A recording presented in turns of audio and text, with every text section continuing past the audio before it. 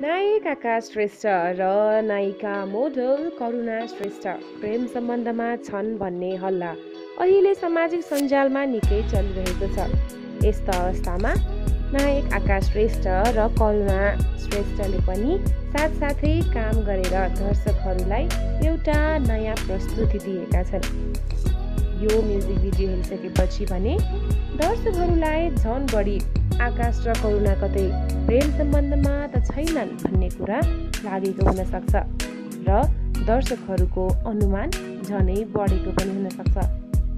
तर हामीले पनि सुन्नमा आउँदाखेरि आकाश र करुणा प्रेम सम्बन्धमा छन् र सो सम्बन्धलाई गोप्य राख्न चाहन्छन् भन्ने हामीले पाएका छौँ।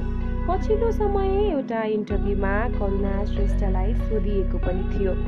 आकाश श्रेष्ठसँगको तपाईँको सम्बन्ध के हो भनेर।